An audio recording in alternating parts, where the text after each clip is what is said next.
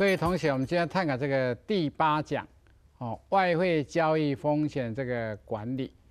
那么在前面这个单点当中，已经告诉同学说，外汇交易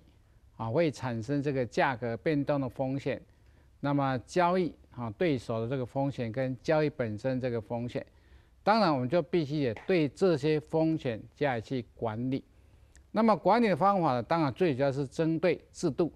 跟外汇交易的一些商品的一个哈企业的这个应用啊，例如你可以制定啊内部的一个控管的措施、额度的管理，或是说你可以啊为了排除这个风险的不利方向这个产生啊，你可以透过期货选择权换汇啊换汇以及延期外汇的这个方式来规避啊这个汇率这个风险。那么至于具体的，那么本讲的这个单年的目标啊，当然为了给同学更清晰起见，有三个哈方向。那么第一个的价格风险的管理，啊，第二是交易对手风险的管理，第三是交易者本身风险的管理。好，那么现在我们依序的给同学做一个探讨，这个价格啊，这个变动。哦，所产生的这个风险，这个管理说价格风险这个管理。那么这个外汇交易上这个价格风险管理当中，当然最主要有利率的风险跟汇率风险。所以在这种情况之下，当然了，价格风险这个管理就偏重在利率风险的管理跟汇率风险这个管理。好，那么首先呢，我们来先讲这个利率风险这个管理。那么利率风险这个管理当中呢，当然我们要分了两个市场，一个是货币市场。那么货币市场当中呢，我们最重要就透过现金流量表的这个建构，来控制啊管制这个现金流量啊，避免不当的一个缺口，那么造成利率的这个波动。那么这个地方呢，我们可以举例一个了。因为通常我们在现实社会当中，各位同学，我们都有一那个净哈这个多头跟净空头。那么什么叫净多头？净多头就是说你的介入的金额大于贷出的金额，啊，你的啊介入的金额啊大于啊这个贷出的金额叫净多头啊，跟一般所讲多头是这个不一样，它是介入，也就是说买入的。大卖出呢？一般的外市场是这样讲的啊。净空头是说你的介入的金额小于啊这个带出这个金额。那么这个如果你有这些缺额，坦白讲，不管你进多头、进空头，在现实社会当中，你说要把这个部位控制为零 z e 的话是不可能的。那么在这种情况之下，如果今天你进多头介入大于带出。如果说利率提高的话，那么各位同学，因为你介入金额带这个带出这个金额净多头嘛，那利率这个提高一定会加深你利息支出这个增加啦。那么如果说景气不是那么好的话，那各位同学你看看，你面对景气不好，利息支出要增加情况之下，那么你看你多严重了。那么净空头当然这时候利息这个提高。那么呢，对你冲击还不会很大，所以同学你看看说现在一个引诱，你看现在全世界各国利率都很低哦，那么大家呢都是去借啊买借钱买房子买等等的，但是我们是期待说利率不会提高哦，当你利率提高时，真的就会造成很严肃的这个金融风暴，这个风暴绝对不会输于啊这个雷曼兄弟所造成的前年的。金融海啸。因为利率这个提高是未来必然的一个方向，啊，必然一个方向。那么利率提高，这个成本一个支出，那么在这种情况之下所造成的冲击，真的不堪想象的。所以说，有关你这个货币市场在管理这个利率风险当中，啊，避免你的部位的这个不当，那么所造成利息负担过重，所以我们都希望说用这种现金流量表来控制你的多头或空头这个部位。哦，当然我们也不是神仙。对，未来整个景气的这个变化、利率的这个走势，我相信也，包括专业这个银行可能会有这个错误的一个好判断的啊。如果人世间对什么事情都判断这么精准，我想人世间的灾难悲剧大概都不会产生的啦。我就像常常给同学了解，整个外汇市场这个操作，为什么同学要深思一下？为什么在这么一个庞大这个市场当中，百分之九十五的都会亏本，只有百分之五的会赚钱？对，那这样股票市场五百万户的，真正会赚钱是二十五万户而已哦。啊，为什么会这样？我相信各位同学，大家都很先，啊，大家都很专业，啊，问题投资起来为什么有这样一个坎坷？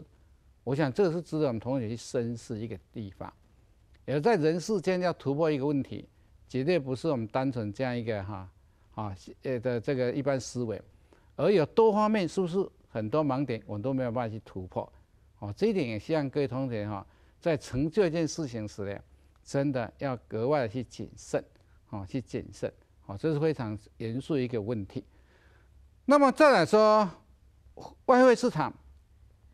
那么这个外汇市场当中的这个利率风险，各位同学你可以了解的，因为外汇市场当中我们涉及到是一个换汇嘛，台币换美金，美金换台，呃，这个台币。那么在这种情况，在整个互换的过程当中，当然，对这个一般的这个汇率大概影响不大，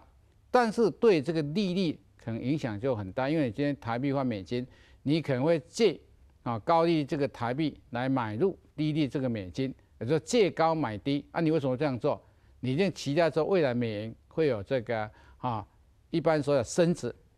然后台币会贬值。也就虽然说你在利差上有不利，但是未来在汇差上你会有所这个考虑。啊，有会有所这个获利，所以但是呢，你这是你的预测，因为整个市场的变化常常会有措手不及，所以在这种情况之下，底外汇市场当中的利率风险，当然呢比这个货币市场很单纯，因为货币市场只有一个单一货币，但是外汇市场涉及到是两种以上的货币，所以你对两种以上整个经济情况你都必要所了解，所以在这种情况之下，也难度就高。那为了控管这个问题的，通常在实物上有两种，用总额度哈总线的，也就是你把你的超易的操作这个额度控制在一个额度叫总线的，然后在每一个交易的货币再给它一个个别的限制，叫做个别限的，也就是在外汇市场当中，为了控管这个信用风险，一般我们都用这种限额的方式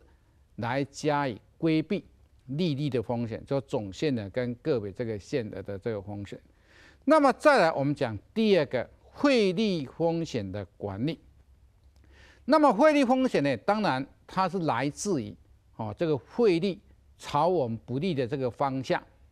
以及外汇部位的这个过多所造成的风险。所以在实物上呢，我们一般为着规避这个汇率。不利方向这个波动，当然我们可以用啊，一般所讲远期外汇、期货跟好换汇或选择市场来加以去规避。好，我们先休息一下。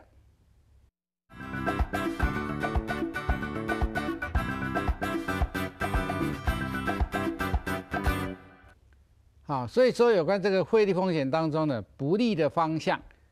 我们可以透过啊这个其他的市场，也就是说远期外汇市场，或期货市场，或换汇市场，或选择权市场来加以规避。那么至于说有关于这个外汇部位这个管理，因为任何一个市场哈，我相信呢，它只要说银行一开业，我想这个买超跟卖超的一般都非常正常。你要把两者变成说啊平衡，就等于说接到。也就是它的这个净外汇的这个流量为零是不可能的，一定不是买超或卖超，不可能。所以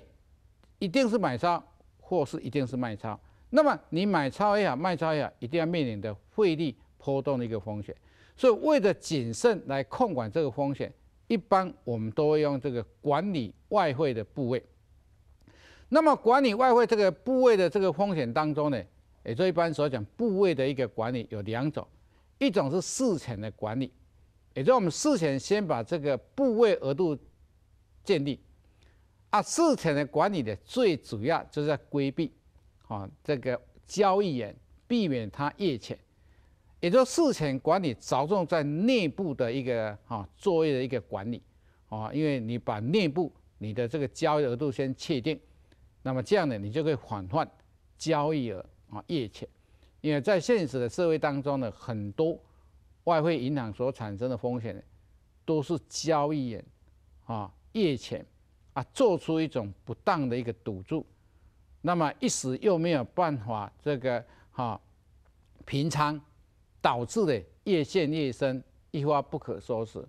啊，将百年的银行。也变这个做这形成一个摧毁这个现象，我想呢，在现实的这个外汇市场当中，应该有很多的 case 啊，很多 case。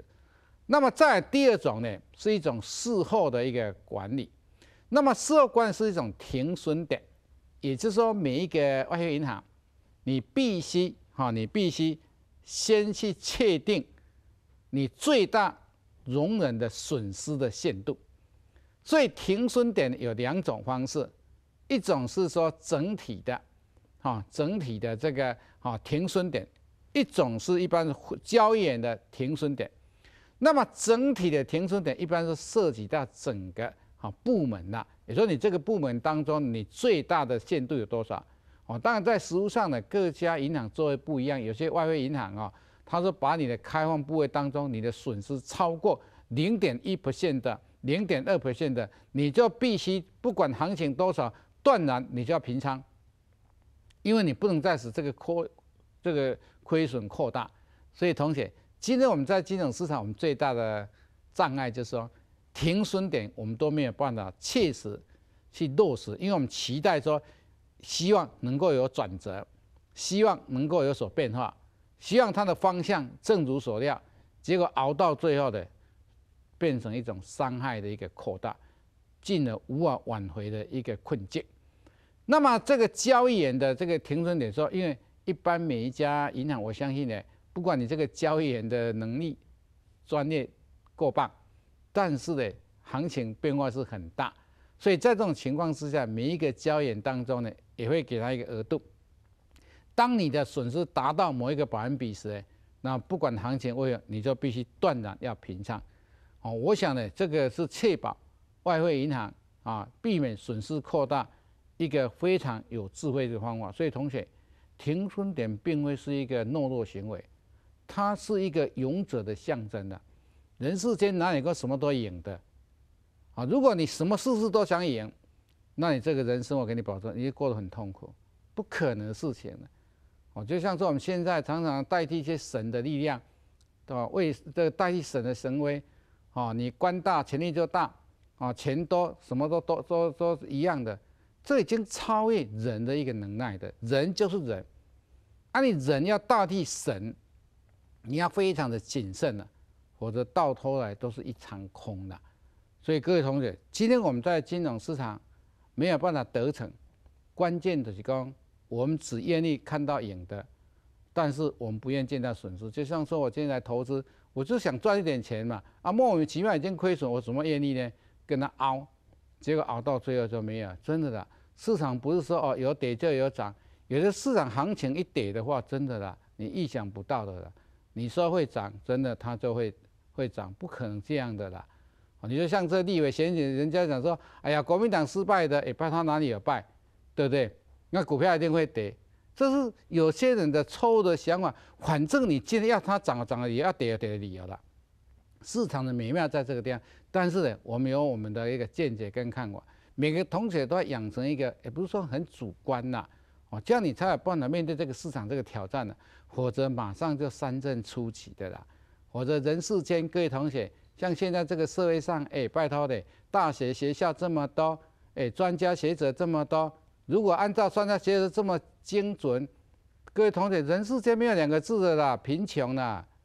对不对？哪里有这么这么那个的？借钱呢，请他委托他来代客操作，哎呀，哪一个人没有钱？但事实上根本不是如此啊，因为这个社会是吹吹牛的社会嘛，对不对？反正有钱的人就做些有钱的一个作为嘛，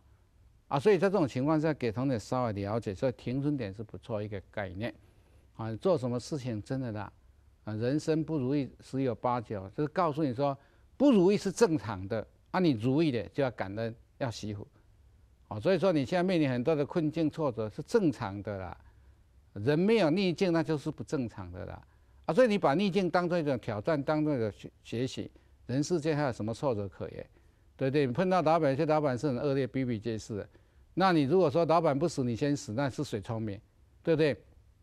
所以在这种情况之下，人要一种调试的一个智慧了。尤其现在这个社会有没有教育又这么失败，你懂不懂？所以在这种情况之下，我讲教育是不是说人都没有是非观念的？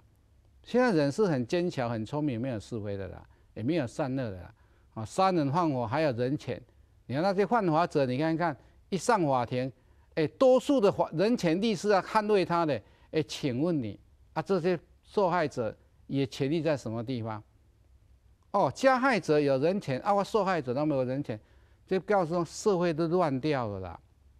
大家假慈悲了啊，你今天被伤害啊，你能够说有宽厚之心来容忍人家，那我认了，你真的有这种资格。或者说以别人的伤害做行开心，哎，拜托天下没有这样的，好不好？所以做人还是要分寸一点的，啊，不是说你官大慈悲大是假慈悲，那个伤那个罪很深的，我给同学了解一下，哦，做人不要太过分了，真的，也不要太虚伪了，啊，不要说书读多一点就认为你什么都懂，我告诉你，书读越多更不懂，我跟你讲，对不对？所以很多事情像同学说，读书是给我们更理性一点，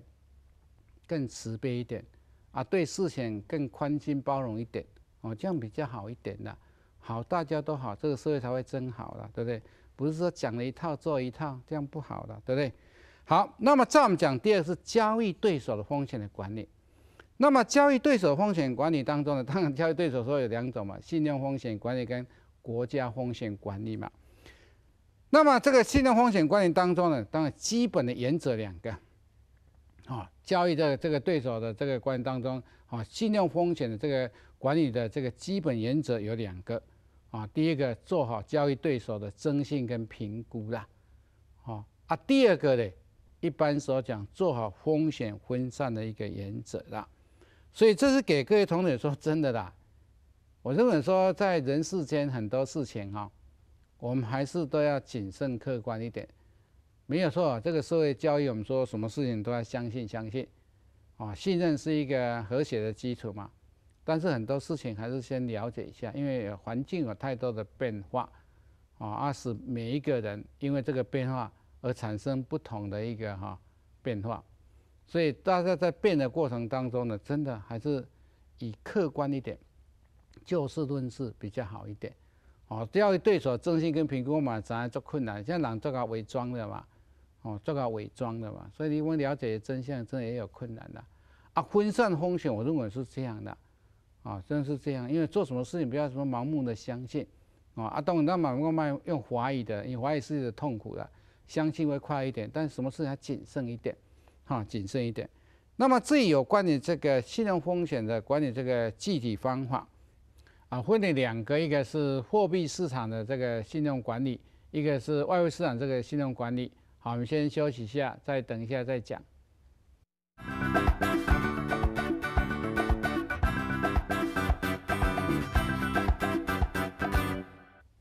好，那么有关这个货币市场这个信用管理，当然分了两个，啊，一个是信用额度的这个管理，啊，信用额度这个管理，一个是分额度的管理。那么这个信用额度这个管理，它是总量的管理。啊，总额度，如果说你对一个交易对手，那么你必须的用一个总量的控制。那么这分额度的是用一种一般说不同的币别来加以去管理。啊，一般说像银行在贷款的短期、中期、长期。那么你对一个客户的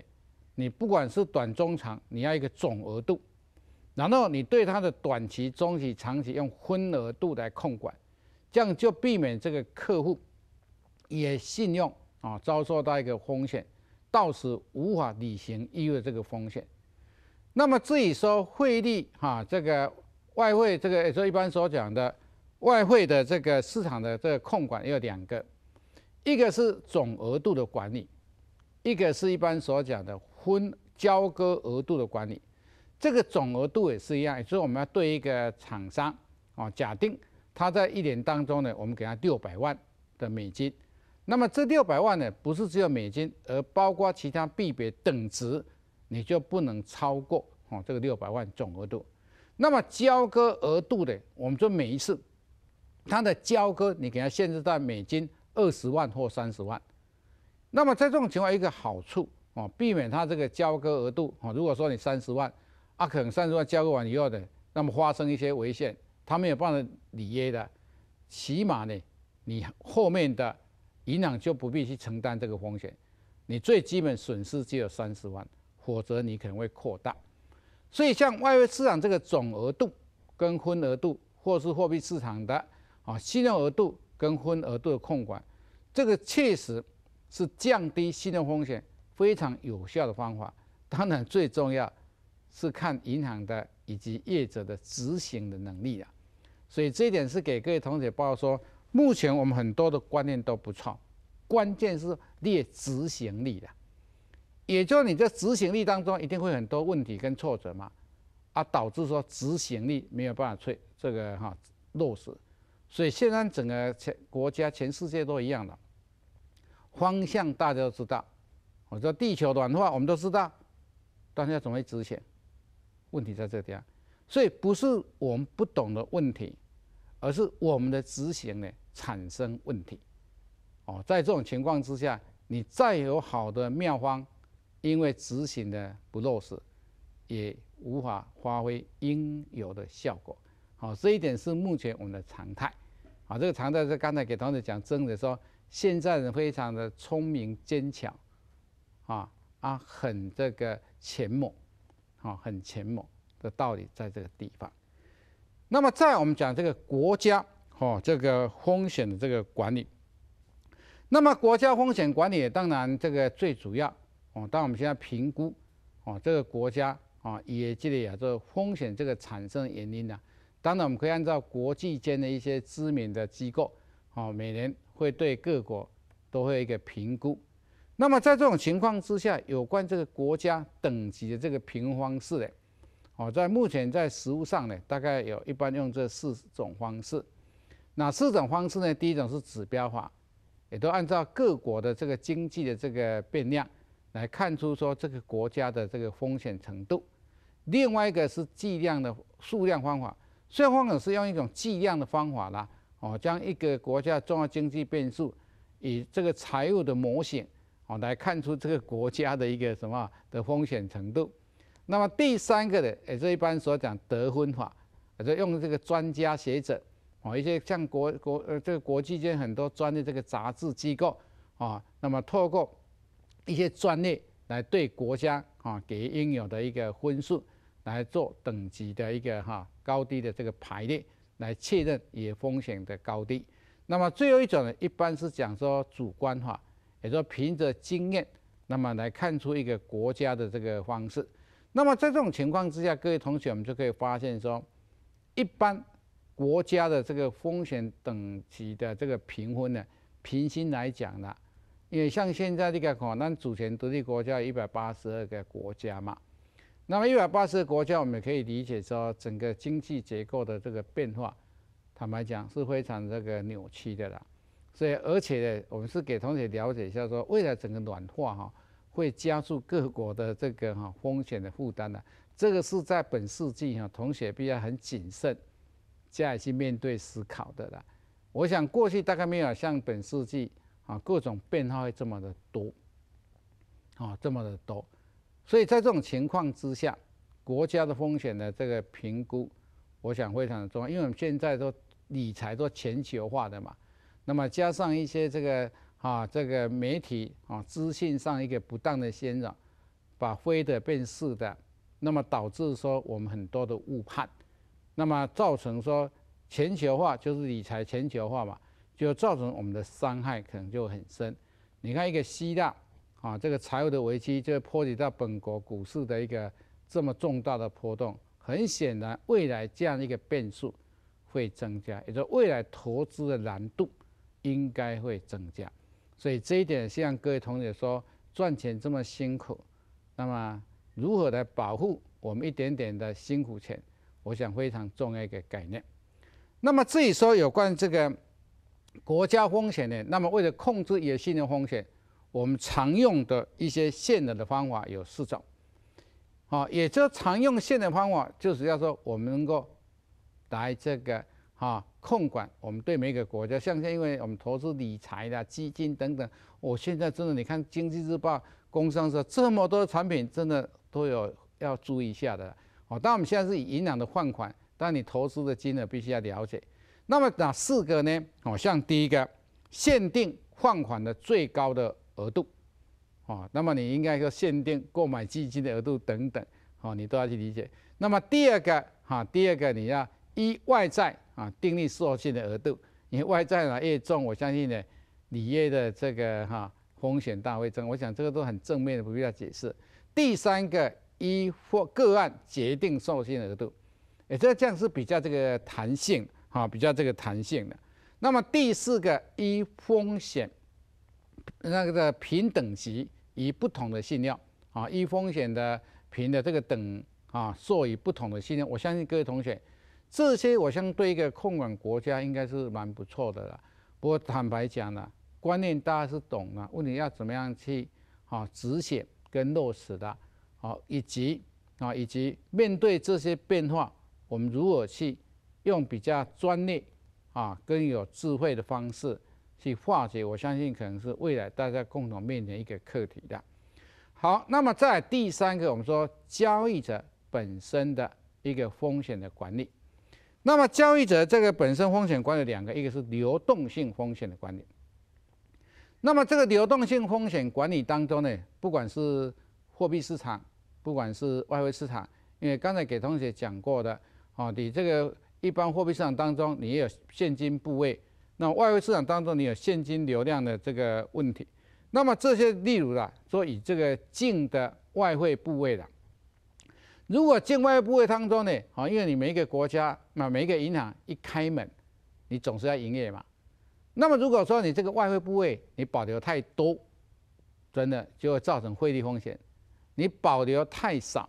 你就会有流动性风险。那么你现金也是一样啊，如果你投资的过多，那么到时呢资金调度可能就有问题。所以通常比较保守的都会定定这个，哈，这个一般所讲适度的。流动性比例的，那么流动性比例就是说你的流动资产跟流动负债比例的，一般合理是差不多两百的，啊，那么正常它一百五十的，不过目前有些公司的流动性的这个比例真的偏低的。好，那么在第二是说一般所讲这个座位风险的管理，那么座位风险这个管理当然这个是人嘛，那么人发生问题，我们当然就有人的方向。去这个面对，那么有关的作为风险管理有四个啦。第一个啊，慎险啊，一般所讲的交易人员哦，我讲人嘛，人是一个资产，我常常强调这句话了，人是一个资产。那么第二个，一般所讲的从严定定内部的牵制办法哦，透过内部法规来加约束的。第三个啊，维持就严格审核授权的过程呢。哦，对整个交易过程都要严格去在审核的。第四个，你的交易管理要分离的，哦，这样就避免他自行来做账等等。好，那么因为时间关系，那我们本讲就到此结束了，谢谢各位。